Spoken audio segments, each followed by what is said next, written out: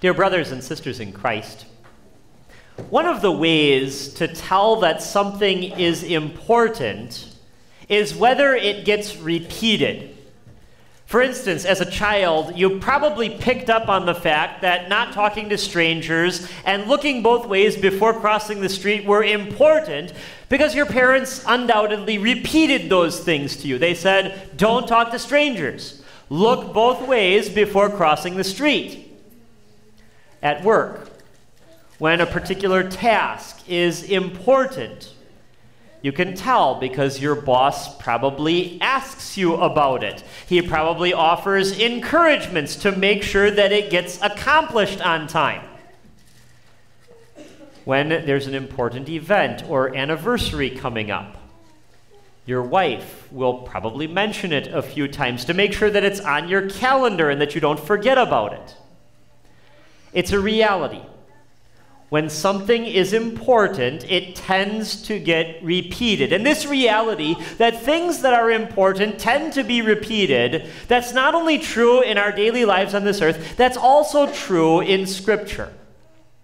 In fact, in the part of God's Word that's before us this morning, that gospel lesson from John chapter 20, Jesus does that very thing. He knows how we operate as people, and so he repeats himself in order to drive home to us a very important point. So, what is this important truth that Jesus wants to drive home to us?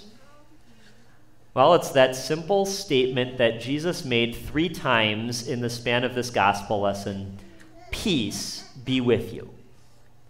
This peace that Jesus speaks about, that he repeats in order to drive home to us, this peace is important because it's this peace that gives joy in the midst of fear. It's this peace that gives absolution in place of guilt. And it's this peace that gives assurance in the face of doubts. Now, Jesus repeated that phrase, peace be with you, twice on the very first Easter morning, when, or the first Easter evening, where part of our text happened. Last week we celebrated that joyful event of the resurrection. And we reminded ourselves that, that even though the re- day of resurrection is a joyful one for us, for those first women who went to the tomb, it wasn't initially joyful. And it also wasn't initially very joyful for those disciples, even after the women came back from the tomb. The gospel writer John tells us that on the evening of that day, the first day of the week, the doors being locked where the disciples were for fear of the Jews. The disciples were afraid. And it's not too hard to figure out why they were afraid. They were afraid because of the Jews. Those Jewish leaders, you see, had placed a guard at Jesus' tomb. That guard was put there in order to make sure that the disciples didn't go and steal Jesus' body. The disciples didn't do anything like that, and yet Jesus' body was now gone. Despite the fact that the soldiers had seen Jesus rise with their own eyes, a little bit of bribery had convinced them to spread the lie that Jesus' disciples had actually come and taken the body away, that Jesus hadn't risen from the dead. Those disciples likely were afraid that maybe the Jewish leaders would use the lies of those soldiers as a pretext to arrest them, and even worse, maybe to kill them. But then, as those disciples were huddled together in that locked room for fear of the Jews, it was then that Jesus came and stood among them and said to them, Peace be with you. When he had said this, he showed them his hands and his side. Then the disciples were glad when they saw the Lord. In the midst of that fear felt by those disciples, Jesus came and he announced peace to them.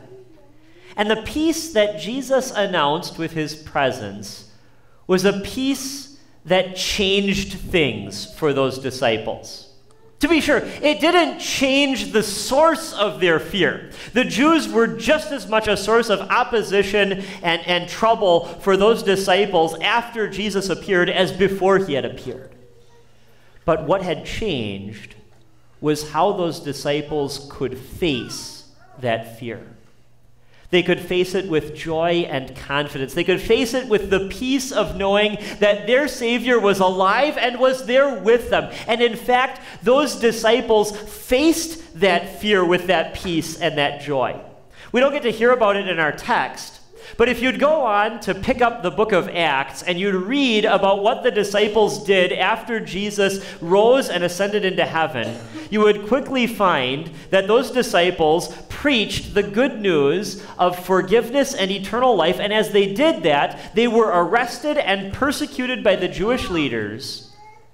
And yet, even as they were arrested and persecuted, they rejoiced they were joyful even in the midst of their fear because Jesus was with them. Christians today don't tend to gather behind locked doors out of fear of the Jews. However, there are still plenty of fears that Christians struggle with in the world today. In fact, just last Sunday, with the bombings that happened of some Christian churches in Sri Lanka, we we're reminded that there are believers in some places who have to fear to do the very thing that you and I are doing this morning gathering to hear God's word.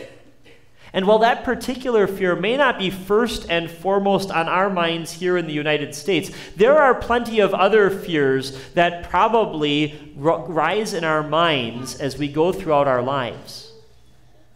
Perhaps at times you are afraid about your health, or maybe about your job and truth be told, I probably can't even list this morning all of the things that you might be afraid of just this coming week. But your Savior Jesus says to you what he said to those disciples on that first Easter evening Peace be with you.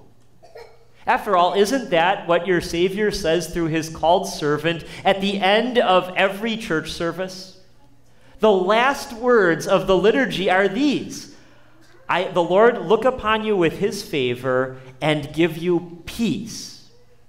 And Jesus says that to you right before you go out into the world, right before you go out to face all of those things that might cause you to be afraid. Jesus gives you his peace, that peace of his presence with you. And that peace, it changes things, doesn't it? It doesn't remove the fears of this life, but it makes a difference in the way that you face those fears in this life. You face them knowing that the Lord Jesus, who has risen from death and is now the Lord of life and death, is with you. That fact that Jesus is with you gives you peace as you face the fears of this life, the peace of knowing that the ruler of heaven and earth is at your side. And that peace makes all the difference as you go through this life, doesn't it?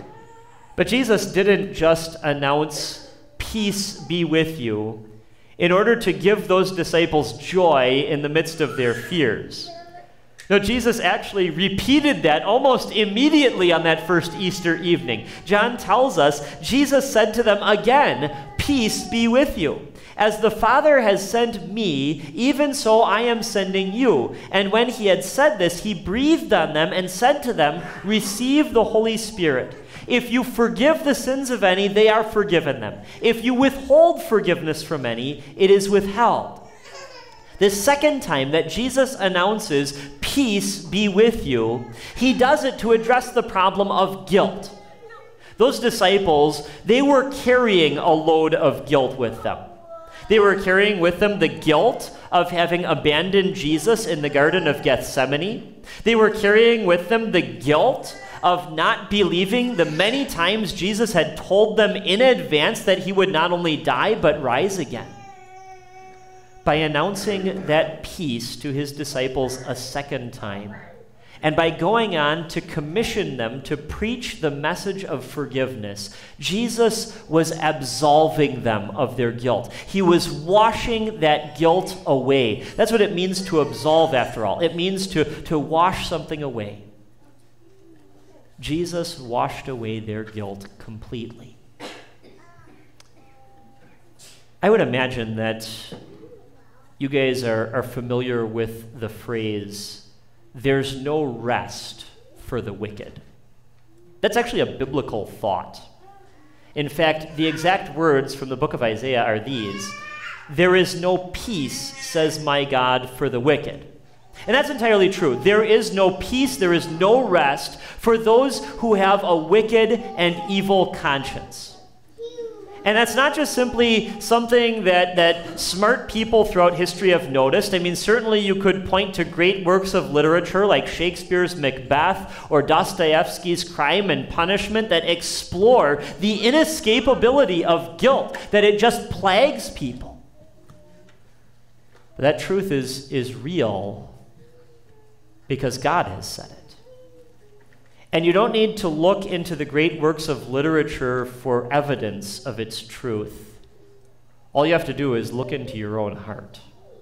Because I would imagine that, like those disciples, you too at times have carried a burden of guilt in your heart.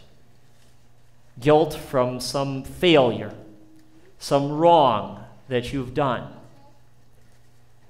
Jesus offers the same peace that he gave to those disciples, the peace that absolves and washes away guilt. And that's because what Jesus commanded those disciples to do still goes on today. Jesus still offers that peace that, that gives absolution from guilt. That's why I stand up and every Sunday publicly announce, as well as privately speak to those who come to me, the words, as a called servant of Christ, and by his authority, I forgive you all your sins in the name of the Father, and of the Son, and of the Holy Spirit. Those words are as valid and certain as if Jesus Christ himself were speaking them to you, because they are Jesus' words. They are his words that give you the peace of absolution in place of your guilty hearts. In addition to those first two times that Jesus said, Peace be with you to those disciples on Easter Sunday, one time to give them joy in the midst of fear, and a second time to give them absolution in place of their guilt.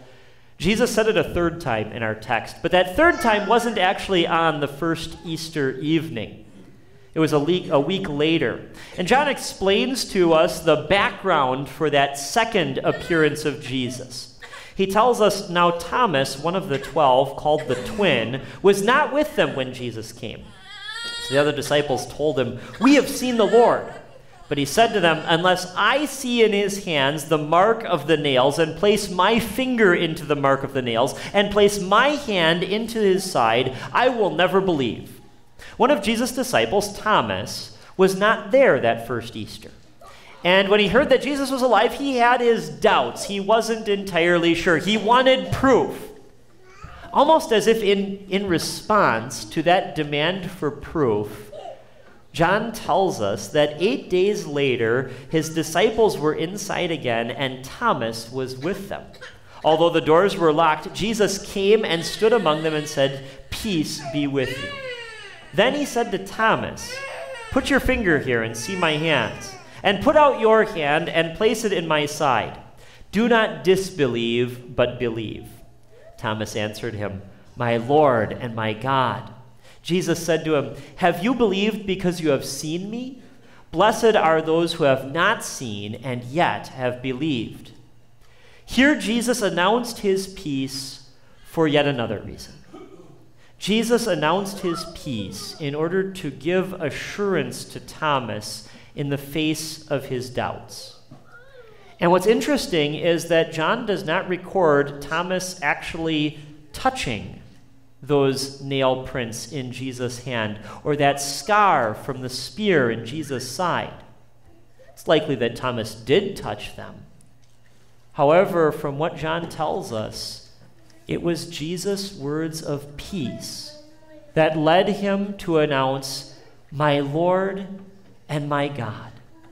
It was that peace that Jesus announced that gave Thomas that kind of assurance to confess that about Jesus. You and I, we too at times have our doubts. Oh, probably not on Easter morning, maybe not even on the Sunday after Easter. We probably don't have doubts then that Jesus is alive and that, that we have the blessings of that resurrection. But oftentimes it's as we go about just the routine of daily life on this earth that doubts can creep up into our minds. It's when you see the evil and the injustice that goes on each day in this world that maybe the doubt creeps into your mind is Jesus really in control of this world? It's when you look in the mirror and you see those reminders of the aging process that maybe the doubt rises in your mind what really is going to happen when I die?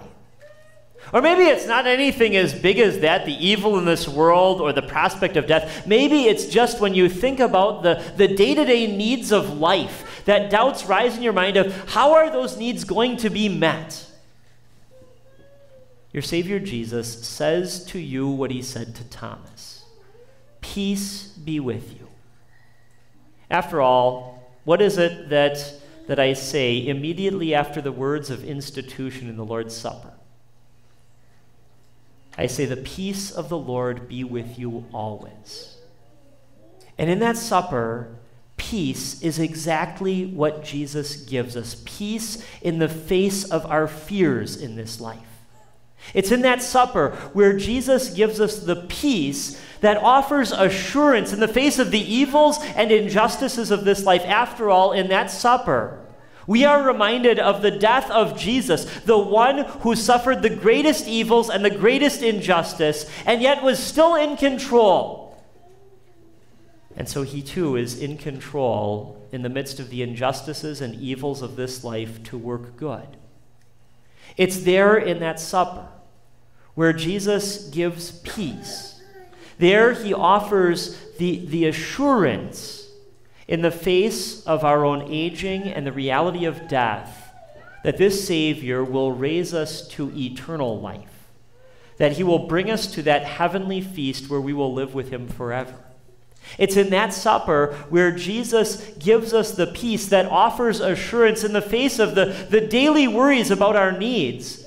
That a God who has loved us so much to richly provide for our spiritual needs how could he possibly forget to take care of our bodies as well?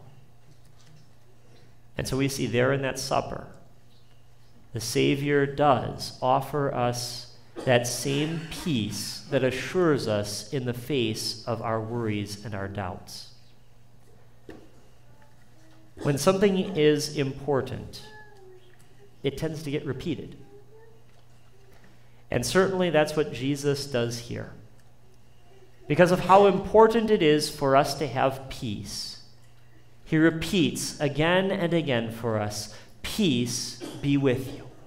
He does that to drive that peace into our hearts so that we would realize that through this peace, God gives us joy in the midst of fear, absolution in place of guilt, and assurance in the face of doubts. May God grant that we would truly treasure that peace for the great gift that it is. Amen. Please stand. And now the peace of God, which transcends all understanding, will guard and keep your hearts and minds through faith in Christ Jesus to life everlasting. Amen.